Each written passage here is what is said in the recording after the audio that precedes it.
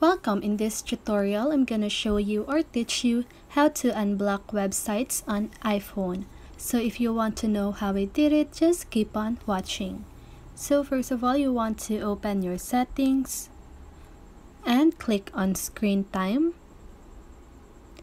Now you want to click on content and privacy restrictions.